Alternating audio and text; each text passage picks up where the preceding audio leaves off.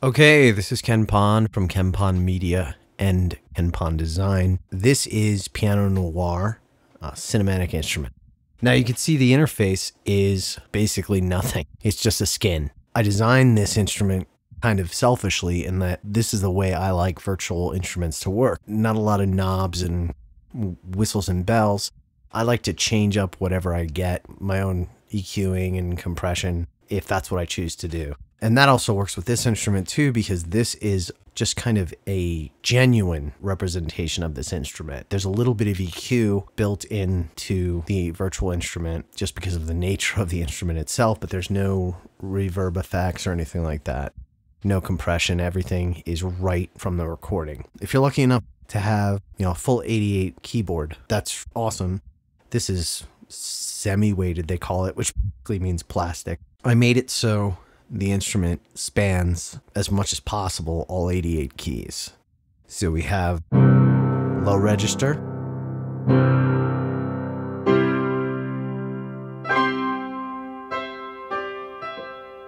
and the high register and the mid register. The first key switch is the piano itself. So it has, I used a PZM microphone, I used mid side recording to put this together.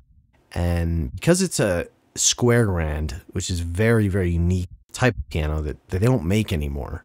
I really liked the unique sound, and it's an old, old instrument.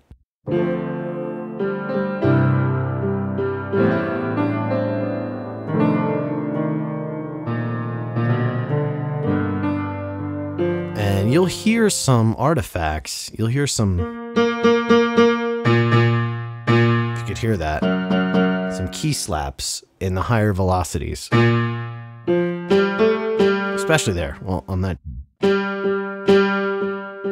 Not so much on the low ones, but the high ones. You'll hear that. And I didn't want to take those out because I wanted this not just to be a straight, pretty instrument, but to be a, a gritty one.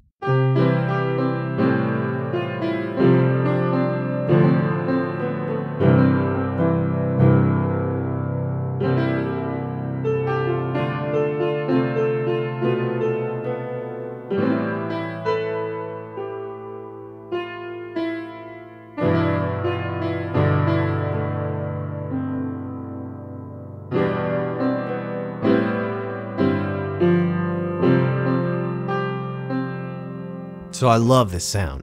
On SoundCloud, there's some examples of songs that I produced using this instrument. But I also wanted to show you the key switches. The reason I called it uh, noir, which is black or dark, a cinematic instrument is because I wanted cinematic elements from the piano itself. So there are some guilty pleasures in here too. If I go to the second key switch, this is going to be the C sharp.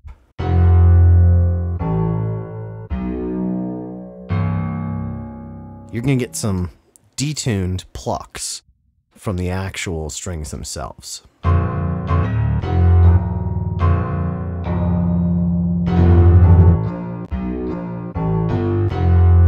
Now I set the attack without the sustain pedal. I don't know if you're using a sustain pedal, but to stop.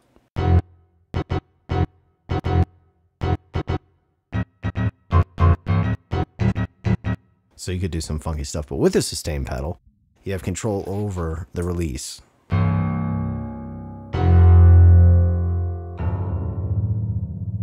All right, so that's uh, that's C sharp key switch for on the D, third key switch, I guess technically. These are some really cool percussive sounds that I used with the body of the square grand itself. It's kind of an impact sound. And on this particular key switch, on the D, they're all mirrored in each octave. So what you get here, here, what you get there. Those are all impacts. And then we've got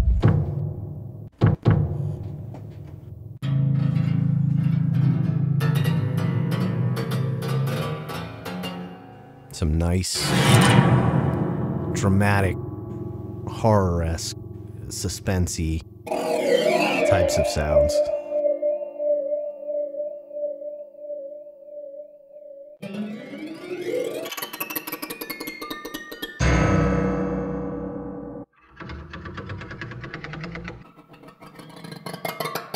Yeah, kind of just like eerie stuff.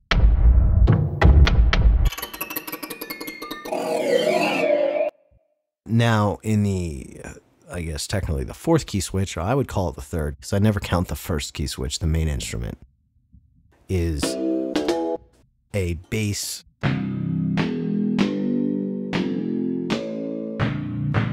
Now, this is actually tuned to concert A. So this will, you know, whatever you play, it'll match with whatever you've got.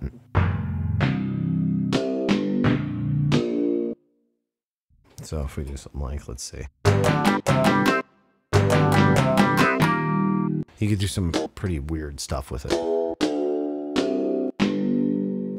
And this is just extrapolated. Maybe there's five actual tones, the rest are extrapolated with a pitch shifter. And then the last key switch we have, the fifth or the fourth, depending on how you look at it, are more less ambient but more percussive elements.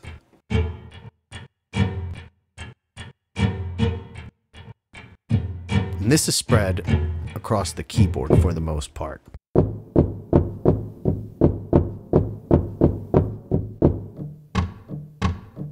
We've got some knocking.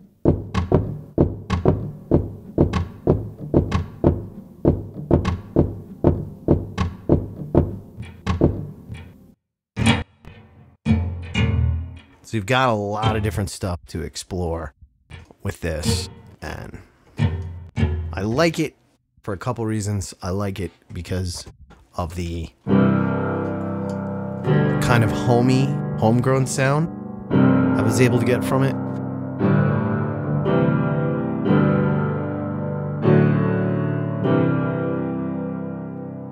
That and the kind of old jazz house.